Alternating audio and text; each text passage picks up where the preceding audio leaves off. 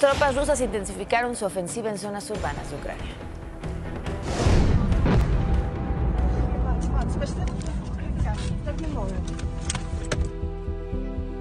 Imágenes satelitales de Maxar Technologies detectaron un convoy militar ruso afuera de Kiev, Ucrania. Es de 64 kilómetros conformado por carros blindados, artillería y otros vehículos. En redes sociales se compartió un momento en el que un misil ruso impactó la plaza central de Kharkov, una de las ciudades más grandes de Ucrania.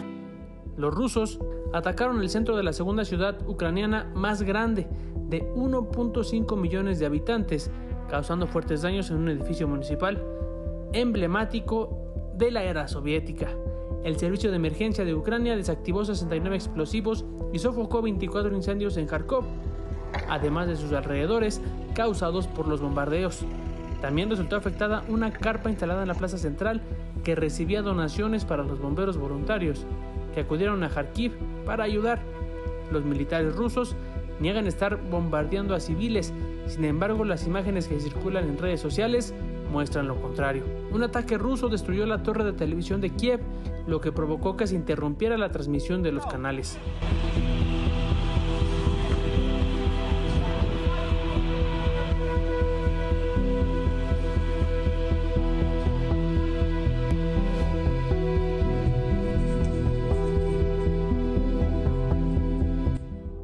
La torre está en el mismo sitio de Badillar, un lugar donde los nazis mataron a más de 30.000 judíos en dos días en 1941.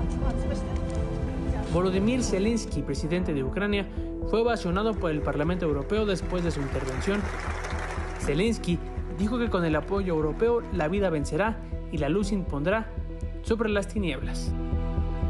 Mientras tanto, en protesta contra la invasión, diplomáticos abandonaron la sala del Consejo de los Derechos Humanos de la ONU durante la presentación del ministro de Relaciones Exteriores ruso, Sergei Lavrov.